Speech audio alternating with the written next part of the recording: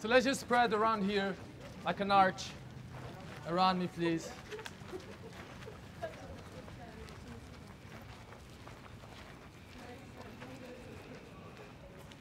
Just come closer. Don't, don't. Let's, you know, just doing a tour. It's okay.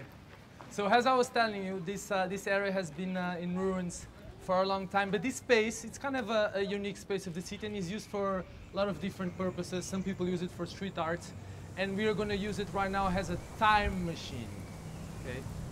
So a city, I think, uh, I like to make a comparison between a city and uh, and a person in the sense that if you're going to tell your story to a, an, a person that you never met before, you're going to probably talk about those events that uh, marked your life, that took your life in a different direction. And if you want to understand the city, you have to do the same. I need to tell you about this earthquake because the city that existed here before is a completely different one that exists now.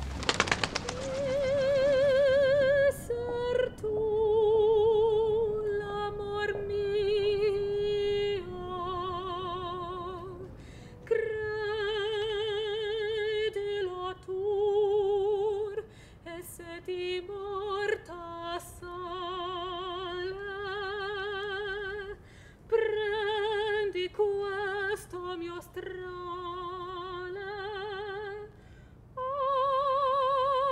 Aprimi il petto e vedrai scritto